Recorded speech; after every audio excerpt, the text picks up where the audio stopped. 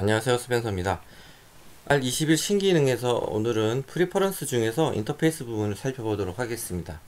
어, 먼저 21 버전에서 제가 지난번에 설명을 못 드렸었는데 프로그램 설치 위치가 다음과 같이 변경이 되었습니다. 20 버전에서는 어, Program Files 폴더 안에 Maxon 폴더 안에 이제 Cinema 4D R20이라는 폴더로 생성이 됐었는데 21 버전부터는 Program Files 폴더 바로 다음에 Maxon 폴더가 아니라 Maxon Cinema 4D R21 폴더가 생성이 되고 거기에 설치가 되기 때문에 이 점 유의하시기 바랍니다.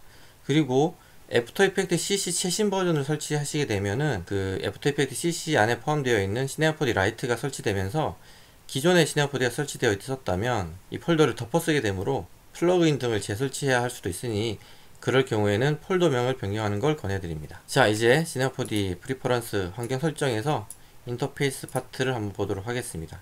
인터페이스에서 여기 highlight feature R21이 추가가 됐습니다. 그래서 여러분이 19, 20, 21 버전 세 가지를 이렇게 선택을 하면 노란색으로 강조 표시가 됩니다. 19 버전의 신기능 또는 개선된 사항들이 있으면 이렇게 표시가 되죠. 공부하실 때 참고하시면 좋을 것 같고요. 자 그리고 이제 help 부분인데 21 버전에서는 프로그램 내에서 설치해서 쓰는 오프라인 도움말이 삭제가 되었고요. 온라인 도움말로 변경이 되었다가 21.115 버전에서 다시 오프라인 도움말을 이용할 수 있게 되었습니다. 온라인 도움말 주소는 다음과 같습니다. 자 그래서 온라인 컨텐츠와 external browser 이 두 가지 항목이 생겼는데 온라인 컨텐츠가 체크해서 ON으로 되어 있을 경우 그리고 external browser가 off인 경우에는 프로그램 내에서 온라인 도움말이 실행이 됩니다. 한번 해볼게요.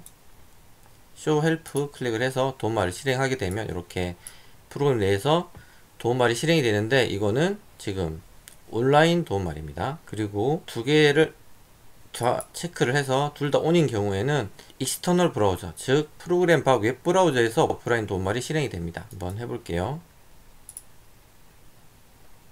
도움말이 실행이 되죠. 자 그럼 반대로 둘 다 off인 경우에는 지금 이제 오, 온라인이 아니고 오프라인 상태이기 때문에 이렇게 프로그램 내에서 도움말이 실행이 되는데 오프라인 도움말을 지금 제가 설치를 하지 않았기 때문에 이런 페이지가 뜹니다. 그래서 여기 웹사이트 가시면은 여기 Maxon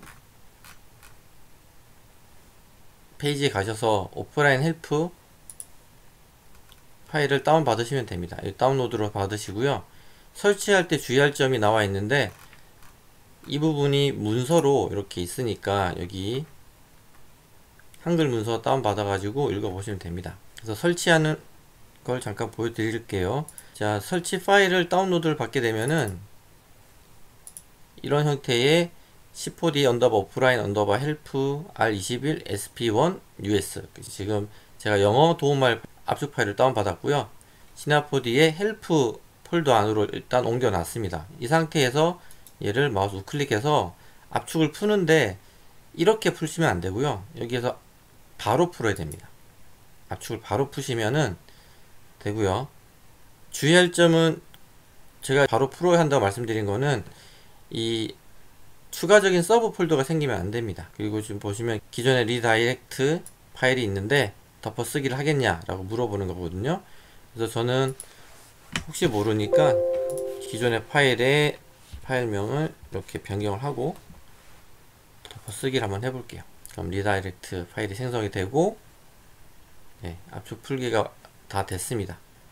그러면 다시 Cinema 4D로 돌아가서 프로그램을 재, 실행하실 필요는 없고요. 다시 한번 도움말을 실행해 보도록 하겠습니다. 네, 정상적으로 동작을 하는데 이 도움말은 오프라인 도움말입니다.